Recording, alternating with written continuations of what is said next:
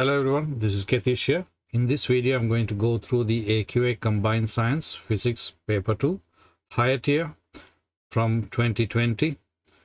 Paper 2 is on four main, uh, three main topics, which is forces, waves, and magnetism.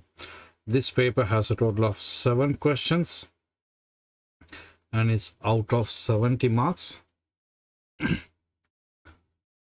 so let's have a look at question number one. Question one. Figure 1 shows five different metal samples iron, steel, aluminium, copper, and tin. A student placed a magnet close to each metal sample. Describe what happens. Now, iron and steel are magnetic materials. Hmm?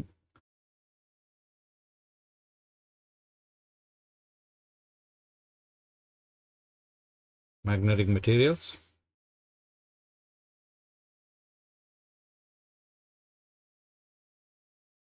Right? These three are not magnetic.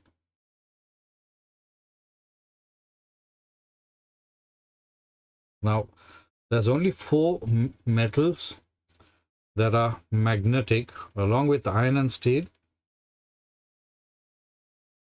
nickel and cobalt are also magnetic. So describe what happens. So if you bring a magnet close to iron and steel, they will be attracted. And if you bring a magnet close to aluminium, copper and tin, nothing will happen. They won't be attracted. So how do we answer this question?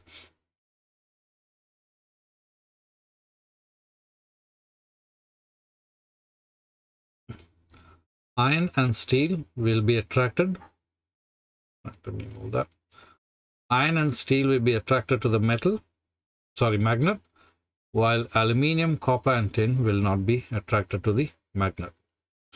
Second question. Figure 2 shows a paper clip attached to a permanent magnet.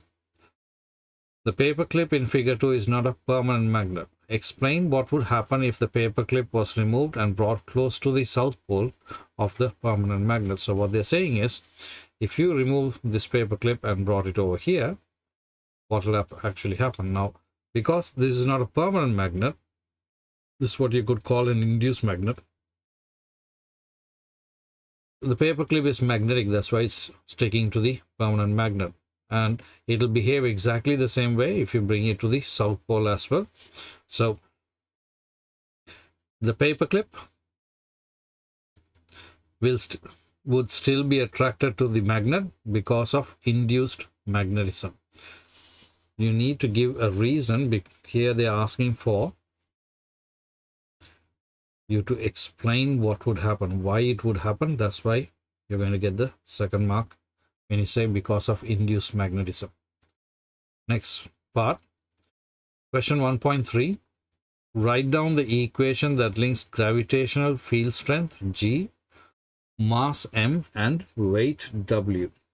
You could use the equation sheet for this. The equation that links all three of these quantities is weight equals mass times gravitational field strength. You can write it as a word equation or even as a symbol equation. As long as you write the symbols correctly, meaning that you don't mix up this lowercase m for a capital M.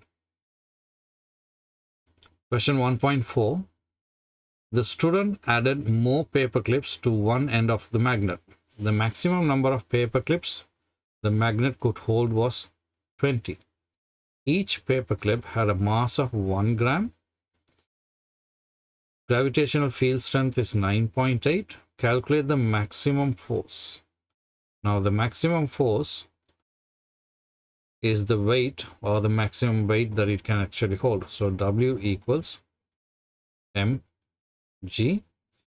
Now the total mass is the mass of 20 paper clips.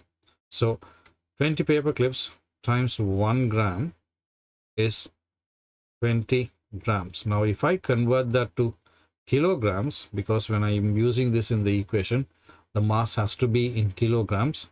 So I have to divide that by a thousand.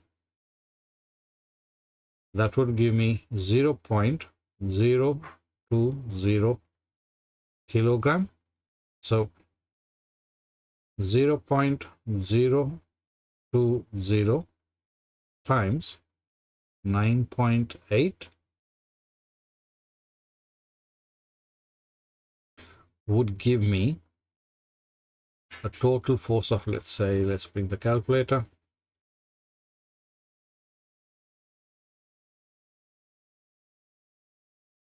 So 0 0.02 times 9.8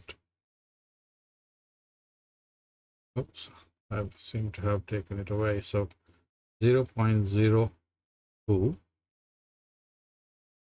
times 9.8 0 0.196 hmm, so actually let me so that's 0 0.196 newton 0 0.196 newton that brings us to the end of question number one and i will see you in question number